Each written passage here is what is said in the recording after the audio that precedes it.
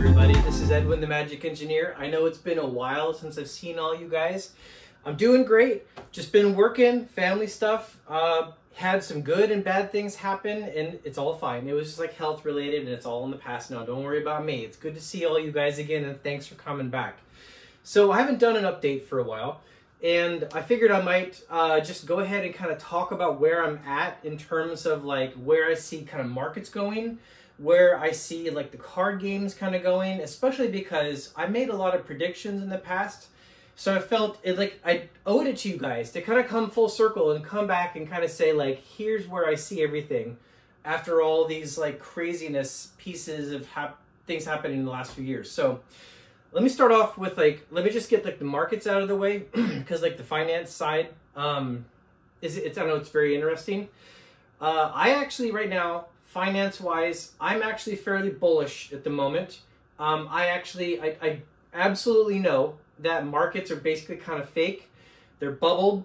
I understand. Uh, I do think that they're going to continue going up because right now, when you've got like Fed injected liquidity, you've got rates artificially being held back down or starting to come like come back down.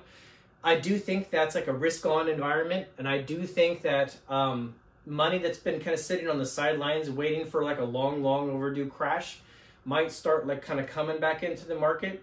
Um, basically, what I'm saying is I think it like all follows the Fed. And you know that's kind of like first of all an indication of a market that's not necessarily a real market, but that's kind of where we're at. And so like investment wise, like I- am not telling you what to do. I'm telling you what I'm doing. Like I've started like pushing money back into the market based on the fact that they said they're going to keep dropping rates for a bit. And I know that there's like layoffs and stuff happening and there's some bad stuff happening, but I think that's going to further encourage them to keep like lowering rates. So until I see a big reversal there, like financial market wise, like that's kind of where I'm looking. Now, a big topic was Magic 30th, right? Magic 30th is something that like when it came out is like one of my last videos, uh, at least on my channel. And I spoke about it saying that I thought collector edition, like international collector edition and the original collector edition, like all printed in 1993 on the same plates as beta, I thought that those are going to go through a drop and then they would stabilize at some point and then there would be like massive opportunity to buy. And many of you who've been speaking with me like since Magic 30 came out, you know that that is exactly what I did. Now, I've got cards here, like in a front on a little table to show you, but I've also got, you know, I, I bought sealed packages of collector's edition.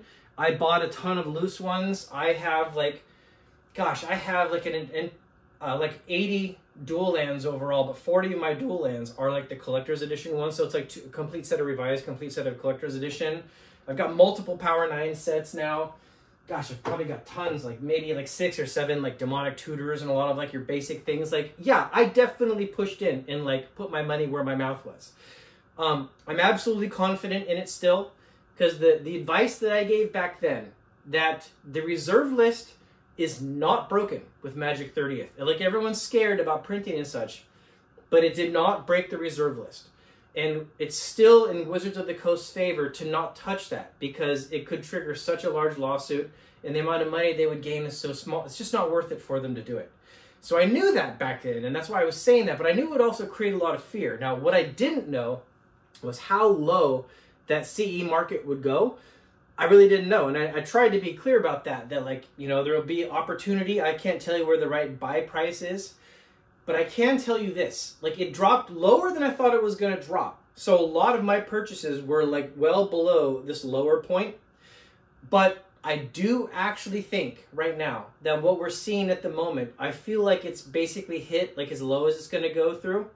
And I think right now, a lot of these collectible card games, the ones that will be successful in the future, the ones that are not going to collapse, they're in a consolidation phase. They're not in a crash. And I'm going to back that up like very solidly with you guys.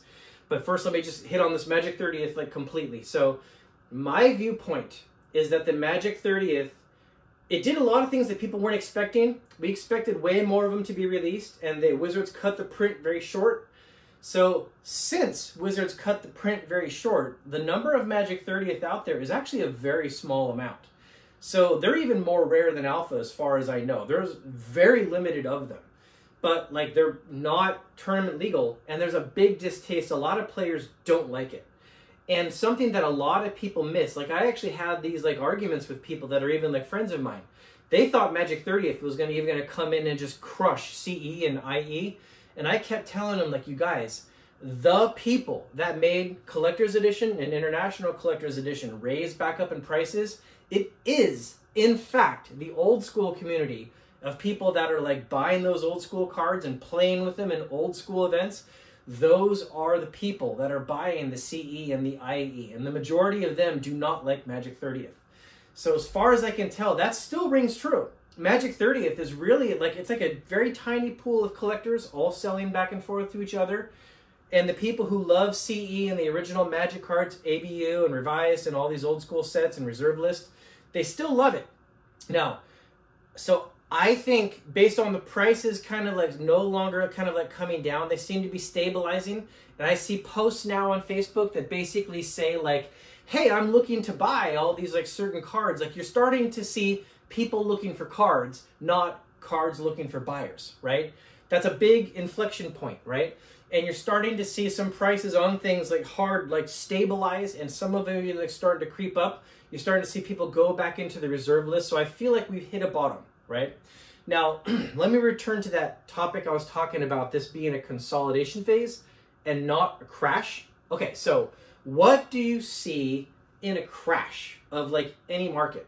What you generally see is an, an enormous amount of supply because everyone's trying to get out right? Huge supply hits the market, prices keep falling, you got way more sellers than buyers. The supply keeps increasing, right? And that bottom keeps falling. And you know, people can always play the kind of game, you know, the whole catching the falling knife scenario, like where's the right price, price to grab it in case it goes back up. But in a crash, you can't really see the bottom. You can just see a lot of momentum building up on the selling. The fear gets massive. There was a lot of those pieces in this recent like sell-off with all these high-end cards, but here's the difference. This entire time, what I have not seen is I have not seen a massive supply of all these old original print cards. What I have seen is like there's some that hit the market, but then they actually do in fact sell and their price may drop a little bit, but then they do in fact sell. What you've seen is like there is buyers coming in to meet the sellers, but the buyers are a little reserved, and so the price is drifting down. Now, let's talk about what a consolidation phase means. Consolidation phase is basically where the people that have extra liquidity, they have a lot of like funds, and they still have a bullish outlook on the cards they're either going to hold on to their cards or they're going to acquire more of those cards. Those are the stronger hands, right? So the stronger hands consolidate all of the assets all to themselves, and the weaker hands are the ones that sell off. And so what it seems like to me is the weak hands in this case are either people that couldn't hold on to the cards financially, or they just basically lost faith in the cards. Which, uh, again, like I've been telling you, like I don't think is very valid because the reserve list wasn't in fact broken people still love the cards. The demand is still there. There was just a scare that was put out in the market with this whole Magic 30th. So I told people that at the beginning. I continued buying through the whole thing, and I've never seen the supply get massive. I've always seen sellers coming in to meet buyers, but the price just kind of kept drifting down for quite a while. And now what you're starting to see again is you're starting to see people like going into an area and be like, there's no cards.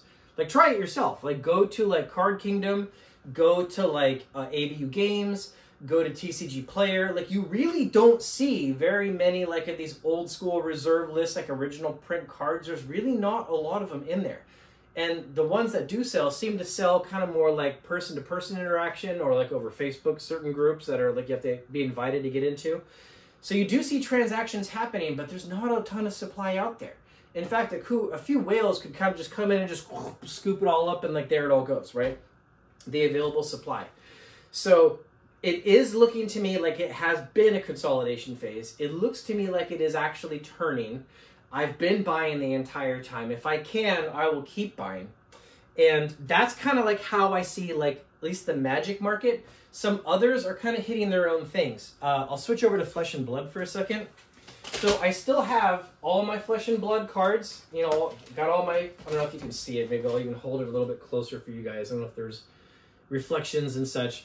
But I've got all my Flesh and Blood cards here. Um, I'm not selling my play cards for Flesh and Blood. I really like the game. I enjoy the game. I'm definitely not going to dump all my play cards for Flesh and Blood. But the prices have in fact come down. Now, if you look around, you can easily see the sealed box prices, the singles, they're just kind of getting destroyed. There's a lot of faith that's being lost in the game. So it's great for the players. So for everyone that wants to get in and play the game, like literally like green light, now's your chance. Go grab those cards. They're crazy cheap. You can go get Fabled for like $28 from some of the newer sets and such. And just, it's crazy, right? So you can definitely get cheap cards to play a very good TCG, which is Flesh and Blood right now. So for that perspective, it's fantastic. For the money side of Flesh and Blood, I'm kind of surprised to see how much it's like fallen off. Now, I've bought a decent amount.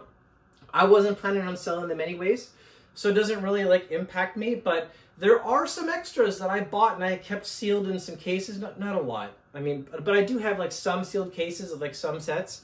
And so of course like those, the value in those is like tanked like way down and that's unfortunate. But I didn't put a like ton into that because my goals are mostly like on the play side. So it does look like that is probably going to continue. I don't see any signs of that changing in the future, but it is an absolute green light for people that have been wanting to try Flesh and Blood to just come in. I mean, you can for a few hundred dollars, like you can get a wide array of like cards and build like several different decks. So it's a great time to actually enter that game. Now, um, in terms of like Magic, um, I literally, like I was like saying, I've I've sold nothing. I still have all my old school cards, right?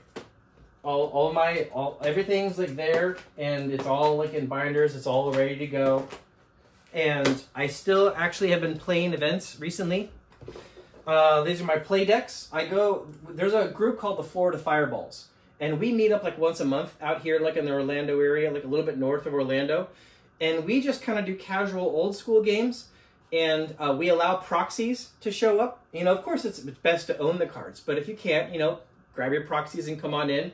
So I've always got my decks ready to go, and I always show up, or not always, as many as I can, show up to these events and just play, right? So that's what I've been doing, like over like the last few years. I've been doing an awful lot of playing of the game, and like I just haven't been doing a lot of videos and such. Now, um, in terms of like you know the other YouTube connections, yeah, I still meet up with Rudy and Dan. We talk like I don't know, like many several times a week. Anyways, like none of that has basically changed, but we still talk all the time. And so we're in very similar kinds of mindsets and how we see all this stuff.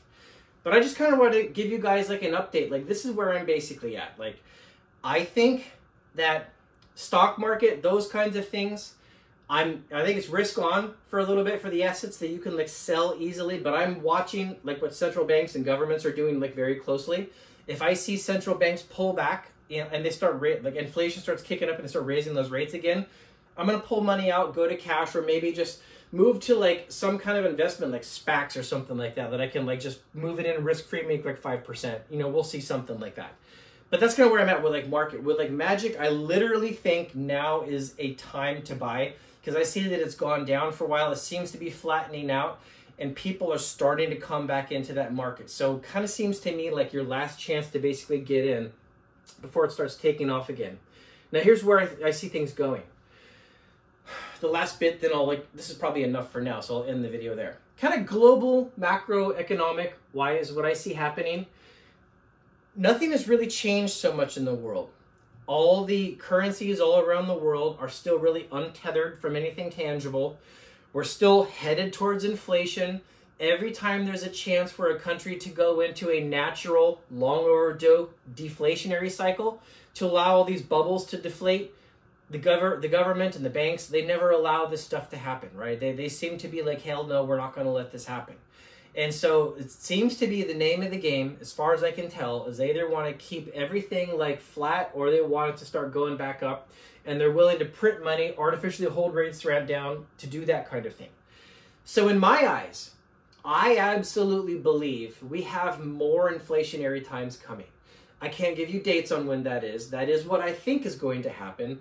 So I will definitely tell you that my own investment profile is moving much more towards things rather than just like cash. You're like something that I think I look at and I think that's a tangible asset that will survive inflation well. Those are things I'm paying attention to, right? But I'm not all eggs in one basket. Like I still have stocks, I still have bonds, I still have real estate, I still have like other assets. But I'm definitely paying attention to inflation proof, very rare collectible tangible assets. Because I do think that we st- will start to hit inflation again because we're going to start to hit hard times. People are going to start to complain. There could be bankruptcies with like all, the rates are still fairly high right now, right?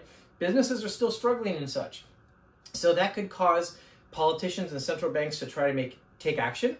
I think that that could cause like a little bit of dip in economy and then like a reinflation on the backs of like either money printing or drop rates or something like that and then I think we're off to inflation city. And the thing is like when you want to go get those assets, you might find a time that like you want to go get them but they're not available to get. So you kind of have to start to kind of take positions in them. So that's my outlook. I'm not suggesting that you all go do that. That is exactly what I'm doing, and that's how I basically see it. So uh, yeah, that that's the quick update. I want to hear what you guys think. I want to hear your comments down below. Um, are you glad to see uh, that I'm back online? Do you want to hear more of the perspective? And there's other videos I'd like to make. There's other topics I'd like to touch on. So, you know, we'll see how things go, and we'll probably get to those too. So thanks for coming, everybody. You have a great day. Bye-bye.